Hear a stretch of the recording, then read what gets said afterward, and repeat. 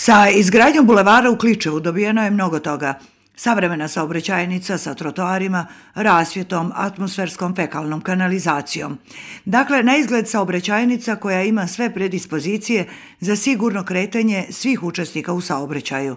Međutim, u toj svijetloj priči ostala je crna tačka, neobezbijeđen pružni prelaz. Prilikom izrade bulevara u plan ili nije ušlo ili su to preskočili, nijesu odradili rampu, čak su nam ovu prvu rampu uništili i maklije.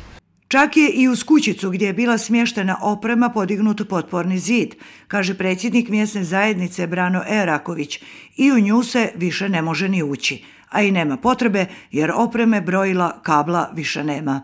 Pa bi apelovali da to vrate i da se postavi rampa, gdje često dolazi do, do saobraćajnih udesa i nezgoda čak prije jedno deset dana jedno auto je tu zakačio voz i udario ga. Nikad se ne zna niti neki red vožnje.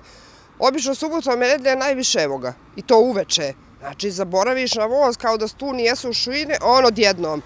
Pa bilo je, znači, prije nekoliko godine jedan mašinovođa, ne znam sad, ne sjećam mu se imena, pa njegov otac plašio se za svog sina da se ne desi neka takva situacija i stalno je dolazio tu. Zaustavljao je saobraćaj, Ovaj, I onda dok mi je prošao sin, on je bio mašinovođa. Vjerovatno je otišao sad u penziju.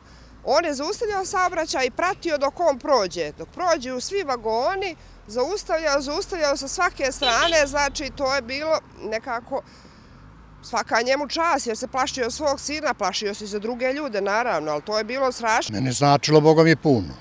Siguran sam, recimo, znam, ako je spuštena rampa, da, da ću ja sačekati normalno. Ovako naletim nekada i ja biciklom, pa ili vidim ili ne čujem. Svakako da bi to značilo mm, za, za svakog učesnika u saobraćaju, ovaj, pogotovo što se ovaj, ovaj e, e, prelaz ovdje nije toliko ni vidljiv, e, ni s jedne ni s druge strane. Šta se dešava?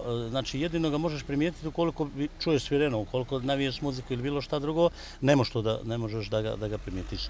Eh, mislim da bi to spasilo dosta, imali, imali su sreće, vjerovatno dosta se nije ništa eh, značajno desilo eh, po pitanju, ne, ne daj Bože, nekih nesnih slučajeva, ali to je samo sreće u pitanju. Međutim, to bi bilo, bilo baš od velikog značaja tu. Eto.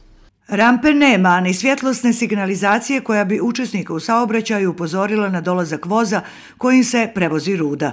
Istina ima znak koji je u dubokoj sjenci borova i jela, no nepreglednost nije jedini problem. Sa strane šina se nabaca smeće, zatrpano je smeće sa strane kolosijeka, uveče omladina i sportisti trče tim šinama i ukoliko voz bi naišao, on ne mogu iskočiti s toga kolosijeka, nema strane zarasno.